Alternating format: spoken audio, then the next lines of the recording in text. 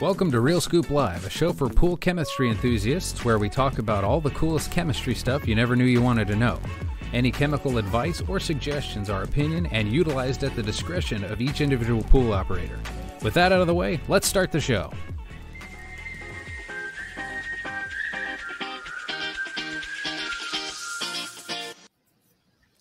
Hello, everyone, and welcome to the Real Scoop Live. This is season two, episode six. And with me today are Matt and Brett, and they're going to talk to you about pool add ons and alternatives. I don't really know if it's episode six, but we're we're sure are recording it, huh? yeah, yeah. I mean, it could be six, seven, eight, whatever you want it to be. I, you can put them up whatever order you want, right? Yeah, yeah, yeah. Call it good. So, in other words, this is another episode of RSL. That's Hello. right. Season two RSL. Thank you for being That's here. Right. Today, we're going to talk about add, add-ons and alternatives um, because there seems to be, at least in the last in the last maybe ten years or so, um, an idea that people want to get away from traditional ways of taking care of pools. Either you know, for whatever reason, maybe they want to make things more healthy. Maybe they want to make things more holistic. You know, maybe they want to get away from chlorine. Maybe they're dealing with uh, allergies from their, you know, from their swimmers, from their kids, or whatever. Some or maybe they just want to do something better for the environment. Some right? people just like new toys too. Well, that's true. That's I want to try something new. Why? Because it's new. Okay, so I want to point out when we're talking about these things that the two thing, the two little O uh, fart clouds there, uh, oh. that we'll we'll get to that. Those those it's something different than what it looks like. I mean, but, that's that's appropriate to have the O in there, though. oh, that that really looks like a pool pudding. Anyway, okay, so we're going to talk about a whole bunch of add-ons and alternatives. We're going to try to make this as succinct as possible. Remember, if you have been following us throughout the the last season and a half, that sometimes we get we go off in tangents, but uh, that's also the comments that we get about the things that people like. So we're trying to keep it tighter. Yes, but not so tight that it's a yeah. Right. It doesn't have to be a grueling pace. Right. Okay, so let's. uh You want to talk about these, or we got them? We got them in the in the show. Oh, they're on the show. Let's go to the next one. All right. So one of the alternatives that, that a lot of people have have been going to for maybe about the last fifteen to twenty years is metals and mineral systems. As far as the actual mineral systems, they've been available since the beginning of uh, right the late late nineteen nineties into the early two thousands. The copper and silver algicide has actually been around for decades and decades. So when you talk about metals and minerals, there are a lot of benefits for having certain minerals and certain metals in the water. One of them is, especially with the copper algicide and the silver algicides, is that those are very effective algicides. So they actually kill algae very well. The silver algicide is a little bit different than the copper. It is more expensive nowadays, and it's harder to find because copper is more expensive. Silver. Silver. I mean, sorry. Silver is more expensive. Yeah. It's look, right now, everything's more expensive. But silver is more expensive than copper. But silver is actually a bactericide. So along uh, along the way, as it's killing bacteria, it also kills algae. Where copper algicide only kills algae, it doesn't kill bacteria. So um, what a lot of people have some worries about that kind of thing is that you know when you put a silver or a copper into the water, it tends to stay in the water. So if that builds up, then you can have problems with high pH or high chlorine causing staining. So that's why that's why then they went to other mineral systems or metal systems, i.e., like the ones that are shown, where uh, there are canisters that contain either you know ceramic balls or balls of um, copper or iron that are literally stay in the container. So you get the ions, you get the the use of that copper, but the copper stays inside of the container, and the container gets changed out every four to six months, depending on the container you get, the system you have, all the other stuff it's kind of interesting too because the like like matt said this isn't new technology. Uh, mm-hmm. there was research papers in the 50s where they tested university pools using silver mineral in the water uh, and they noticed uh, a lot a lot of improvements in terms of um, chemi- additional chemicals that they had to use. They had to use less of them um, less uh, chances for algae outbreaks and things like that. So um, good technology, been around a long time. Just people found a different way to package it and get it into the pool. So different delivery systems and different ways to keep the metals in check, uh, so that they don't cause further problems down the road. in the last 10 years, they actually came out with the triple chelated copper algicide too, which that triple chelation means that it actually is more, if you think about it like a, uh, it only releases itself when there's algae present. And so that stuff can actually be protected against a lot of the normal changes in water chemistry and the normal use of, of pool chemicals to actually stay in that water for up to 90 days or up to three months. But the thing about it is, is that when you're thinking about that, that means best case scenario, you're going to have an algicide in the water for 90 days. Worst case scenario is if you put in a, a 90 day or a long life extended use algicide and you have a lot of algae in the water right now, it actually uses up that capability. So don't think when you're going into a 90 day algicide that's going to last for 90 days because it all depends on how much algae was in there now and how much algae gets in there between now and day 90. So it it's, might last 30 days, it might last 15 days, or it might last, might last 90 days. It's almost kind of like a, a 90 day uh, expiration date algicide where you put it in, it could potentially be there for 90 days, just like your milk. Technically, it'll be okay till October 31st, but if you drink it all on the 10th, it's not going to make it all the way to the 31st.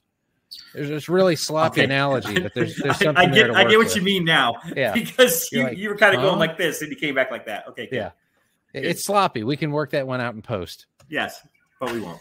so, like like what Matt was saying, uh, depending on the mineral blend in there, it can help prevent algae, bacteria, biofilm, uh, depending on what the blend of metals that are in there. Uh, they help to reduce the need for ancillary troubleshooting chemicals because they're helping to prevent some of the issues that you would need the troubleshooting chemicals for. And they also take secondary tasks off the primary sanitizer. Now, Matt, what would be a couple of the secondary tasks that would come off of your primary sanitizer? Well, you know what? I'll answer that question, but I'm sitting here wondering what a primary sanitizer is. Well, let's For those make viewing at home. Let's make it short. Chlorine. Okay. So primary sanitizer would be a halogen-based product, mainly chlorine, but you can also think of bromine because they're both halogens. But for the most part, you're talking about chlorine. So chlorine is a primary sanitizer. So what kind of tasks can having a metal and mineral system do? Well, it can actually make your chlorine last longer because it's helping to dissipate and kill some of the bacteria and the algae that would normally take chlorine to kill it. So if you don't have to use as much chlorine, that means that you can actually shorten or say lengthen the life between between shocking. Um, that also means that you can use less chlorine. So if you have uh, kids or swimmers that are chlorine, should I say chlorine resistant? Intolerant. That, are, that chlorine intolerant. Um, then then it actually makes the water feel nicer. So, and that, and you know, one other thing too is that we're talking about the, depending on the metals with the algae, bacteria, and biofilm. Each one of these these metal and mineral systems actually have different makeups, right? Most of the time, they have they have copper infused balls, um, typically ceramic balls, but not necessarily ceramic balls. But there's copper. There's typically um, silver in some of them. There's also zinc in some of them, which is really good for mold and mildew. And then there's also nickel, which is really good for uh, mold and mildew as well. So you know you have you have typically those four. It's kind of like uh, it's kind of like eating Mexican food. You know, you have four four ingredients. You just mix them up in different things or put them in a different tortillas, and you have something different, right? Yeah. Well, that's how it is with these. They're all about the same, but they are a little bit different. So if you are specifically worried about mold as opposed to so as opposed to algicide, or if you or you're worried about bacteria, make sure that when you're asking either the vendor or the pool store that you're going to, which one has the most silver, right? Or which one has the most copper, that kind of thing. All right. Here's another fun one. Ozone systems. Who remembers the ozone hole, the ozone layer? It's, it's, it's the same thing. Ozone it's an unstable molecule a combination of oxygen molecules. The instability of it the instability of it is what makes it a good oxidizer where it can break down contaminants in the water. So think of it as a brick wall. Your contaminant is the brick wall. The ozone is kind of like a um, what am i thinking? The construction equipment with the big ball that swings wrecking ball a wrecking ball your your your Good ozone is a wrecking ball that's breaking down that wall uh, bit by bit that's that's kind of a neat way to think about it. So you're you're just breaking it down to its base components. Once it's down to the bricks, then you can filter it out or get rid of it that way. Um, uh, one neat part about ozone, it's it's very strong, um, but it doesn't treat the water that's in the pool, it only treats the water as it's passing through the ozonator. So that's one thing to keep in mind. So if you think of it, think of like chlorine. You put chlorine in the water, it dissolves in the water, and it's actually equalizing out so that generally the whole pool has relatively the same amount of chlorine in it.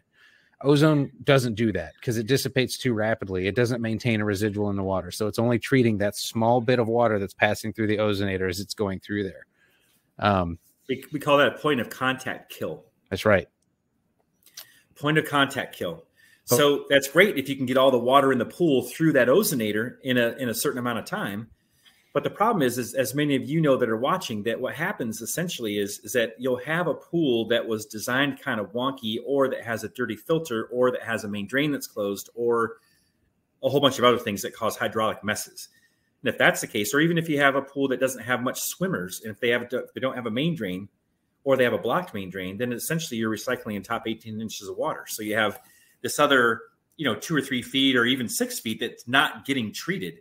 So essentially, for an ozonator, and, and we're not we're not talking bad about ozone, it's just something to think about, is that unless you get that whole body of water through that ozonator at a relatively quick enough time to kill the pathogens in the water, you don't ever really kill all the pathogens in the water. That's why this is called a secondary, a secondary oxidizer, secondary sanitizer, not a primary. It's like what we've said in other other episodes. Uh, the pool is not just chemistry, equipment, surface. It's everything working together. And if you've got one thing out of whack, it can throw off other components that you wouldn't even think of. Um, so hydraulics are a big one, equipment's a big one, making sure you've got proper sizing and things are installed correctly. It all comes into play. So yeah, not not putting any any one system program part or piece down over another. We're just saying be aware of it because there have been quite a few pools built that uh, have questionable hydraulics. And I just uh, want to point out that Brett said be aware of it, not beware of it. Be aware of it. Okay. That's right. Now, what about humidity, Matt? Oh well, here's the here's the fun fact, the trivial fact that uh, maybe not a lot of people know about. The higher the humidity, the less effective the ozonator is. So if you live in an area that has very high humidity that's happening all the time, your ozonator is not as effective as it should be or could be, and sometimes depending on the humidity, it can actually not be effective at all. So make sure to take that into consideration. Uh, if you have any questions about that, you can uh, consult the MAC, which is the MAHC, uh, which is kind of like a not really a Bible, but it's something to let you know what kind of what kind of things you can use and can't use on at least commercial pools. But what goes for commercial goes for residential in this sense. Ultraviolet light. Now, are we just talking about really rad purple? No. No. Mm-mm. What's what's ultraviolet light? it's, it's certainly not something that comes from a flashlight like Bill here. okay. so UV light is specialized wavelengths of light that's capable of neutralizing contaminants. So it works a lot like an ozonator does, except instead of instead of generating ozone, it just does it with a with certain bands of light or certain wavelengths of light. And so essentially what happens is, is that when these pathogens, instead of going through an ozonator and getting doused with ozone, these pathogens go over a light bulb and the light bulb then would kill the would kill the pathogens. So with the with the advent of the COOF, you've probably seen a lot more things in your everyday life, especially with uh, with mass mass transit that has UV light that is killing different pathogens. It's the same style of thing, except it's made for your pool. So when the water comes through, it it uh, it disrupts those pathogens, renders them inert, and then that way um, you don't have the pathogens hurting you or your kids or all the other things that you know pathogens do in pool water. And just like ozone systems, it's a point of contact. So as the water's passing past the the UV light bulb, that is the water that's getting treated. The UV light doesn't shine into the pool. Um, it doesn't do anything like that. It's just treating the oh, water. Man, but that would be cool. Through. That would be really It'd be cool, pretty though. neat, but it'd be like uh, I just picture somebody hooking up a microwave to the side of the pool and you're like, well, this is how we heat it up too. Don't do that, anyone. You know, um, you know what they should do, and and I won't I won't take any any credit for this unless you make a lot of money. And if you do, you can just send me a couple couple you know percentages of it, some shekels. But what would happen if they if they made um, pool lights instead of using LED lights, they would use ultraviolet lights. So that way, whenever your pool light was on and shined all through it, then that way it would I kill everything in the pool. I think everyone would have really, really, really bad sunburns after they got out of the pool. Oh well, I mean that might be an upgrade. I mean, Right. for the certain clientele. You can swim and tan, and the water's clean. Not bad, not bad. there's anyway, bones, okay. there's, there's bones there we can work with. Yes, Ugh, especially if they're in there for a long time. Okay, A- AOP. AOP is actually actually kind of a combination of both UV and ozone. Um, as uh, you generate ozone as it passes through a UV system, it actually creates hydroxyl radicals. Those are the little oh farts that are attacking the pathogens in there. Um, it's it's it's an unstable molecule that actually uh, helps to break those things down. Uh, pretty efficient, pretty fast. Um, actually faster than either one of the other ones um, separately. So kind of neat. Also, point of contact system. So just as the water's passing through the system is where the AOP or advanced oxidation potential is actually doing most of its work. Now, if you've noticed, oxidation has been a common theme through a lot of these because it helps to break down stuff in the water that you don't want in the water.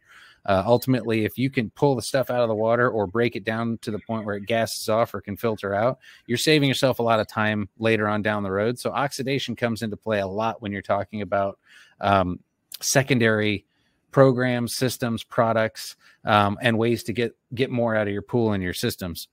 Um, that's the now, quick and now quick, before quick we go to the next the next screen, let's let's look at this for a second. But in the italicized green area, it says AOP systems must be sized correctly and are often installed with a bypass loop. That is the same as the UV systems and ozone systems. All of these things, since they are a point of contact kill, you have to have the pathogens go through that are a certain speed. If they go too slow, then obviously everything you know kind of gets wonky because the the system isn't working as effectively as it could. But if they go too fast, they're not there long enough to get um, to Broken get down. rendered inert, right? Yeah. So that's why you know hydraulics, like we talked about before, is such a big thing when you're using these these external models. Is that because those things have to have enough time to do their job, and if they have too much time, they overdo it, and if they have too little time, they don't do it at all. So it's very important that all that stuff is is uh, Let's, let's go back to the kitchen Installed. reference. We're going to get away from the milk, but it's the Thanksgiving turkey this time. If you leave the turkey in the oven too long, you completely burn it, and you don't get any use out of that bird. Uh, you pull it out when it's still raw, you can still have some critters in there that are going to make you sick. Huh? eh? Yeah, we'll, we'll keep working on the kitchen references. I think we got something here. When we talk about calcium, I got a great one. Okay, so ozone, UV, and AOP are all kind of grouped together. It all depends on what you want to do. Like Brett said, AOP is a combination of ozone and UV, but all three of them work together to inactivate harmful pathogens that are chlorine resistant, which is really great. Because what you do not know, or what you may not know, is that there are pathogens that get into pools that will not be killed by chlorine at a normal rate, right? Some of them are anywhere between 25 parts per million to 30, 40, 50 parts per million. And sometimes, like in the case of cryptosporidium, you're talking about 50 parts per million for multiple days. And you know how hard it is to have 50 parts per million of chlorine in a pool for multiple days in order to kill cryptosporidium, which is a waterborne illness that can cause all kinds of nasty issues. It's it's pretty bad. So having something, especially if you're a germaphobe or you have someone that you know that that um, swims in your pool a lot that doesn't have great hygiene, having an ozone UV or an AOP system is is a pretty good idea. I just picture you, old Stinky Pete's coming by later to swim in the pool again. You better kick on the AOP system. Old Stinky Pete's coming. Um, one uh, one final little gadget or gizmo that we want to talk about briefly. This one's really kind of specific for saltwater pools. Um, saltwater creates a little bit more of a harsher environment just because of the characteristics of salt that's in the water. Um, sacrificial anode, it's giving itself up for the benefit of the other metallic pieces in the water. So instead of the salt water, think of if it as a mean thing that wants to take things from you. It wants to take metal from your pool heater, from your from your pump impeller, from anything from your handrails, anything metal that's in the water. It wants to take it. Well, the sacrificial anode, he's just a good guy. He's a good Samaritan. He comes in here and he stands in front of the salt water and says, Hey, bro, come at me. And so the saltwater says, okay. And he just takes metal ions off the zinc anode because it's sacrificial. It actually is easier for the salt water to take metal off of that than it is the other parts of pool equipment. So this technology has been around for a while. They actually use it on large ocean vessels. They put it on there so that it'll attack the zinc on the ship versus destroying the steel hull because that's a heck of a lot more expensive to, to repair or replace uh, than just putting some some zinc slugs on the side there. So same kind of thing, uh, but it can save you a boatload of time, effort, and, and See, pretty hip crowd today. Um, so yeah, it it saves the other pieces down the line so that they don't get broken down prematurely. Now, did we go over all of the gizmos out there today? Absolutely not. But we're trying to keep it tighter. Um, there's there's other things out there that can can definitely help. Oh, hey, look, this is a subtle plug here for from Papa Parent Company. Um, yeah. Easy Pool's a blended product. It does multiple things. It's an oxidizer. Hey, there's that word again, oxidizer. It's an algicide. Hey, that's that word again, algicide. It's a staining scale, clarifier, balancers, all in one bucket. Uh, it helps a boatload of different ways. Um, I didn't want to get into commercial time, but there, there we go. I, I Well, you know, the thing is that we were talking there. about alternatives, and I said to Brett, I said, "Well, don't you think that Easy Pool is an alternative?" Well, let's throw it up there, right? Because this this is a way to get out of the traditional taking care of the pools to reduce the amount of ancillary chemicals that you have to store and use and and and dose and with fuss and- over. and swim in and fuss over and get confused about and all that stuff. This is something you can do that literally it's about a chlorine tablet per 10,000 gallons a week and a pound of easy pool per 10,000 gallons per week and everything's taken care of. Yep. So it's a great alternative. So anyway, that's it. that's it. That's all we Right. got. We appreciate you being here uh, for our one of the episodes from season two, add-ons and alternatives. Yeah, we, we're thinking around six. Yeah, around Should six. be. Should Should be be. six. So like, share, and subscribe if you can. Hit notifications if you like us, and if you don't, that's fine. Thanks for being here. Thanks for listening this long. We And it- appreciate you.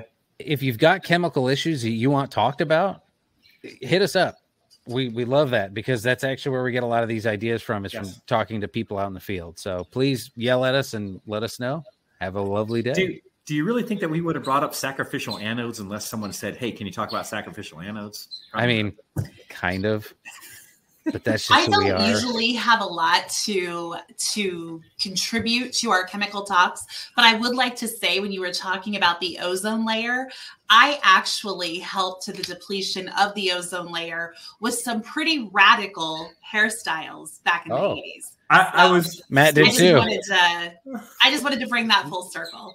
So You see, I was when he was saying that, I was thinking of, I was thinking, bring up hairnet, bring up hairnet, yeah, right? yeah, And right guard in the spray, right? right. My my way older brothers used to tell me about the stuff that you could spray that back in the eighties. Right, right. The right. the aerosol ha- hairspray was just potato cannon fuel for me. Yes. yep. That all that contributed to it. Mm-hmm. Well, So- and fun fact about Easy Pool, it's good for your hair and skin, so it won't be like. A fun Hey, look at that. Well, So see, that's we because just- of Yeah, it's all it's all here. I feel It's so all about happy that I just oxygenated water. yep. All right, thanks. Bye bye. Bye.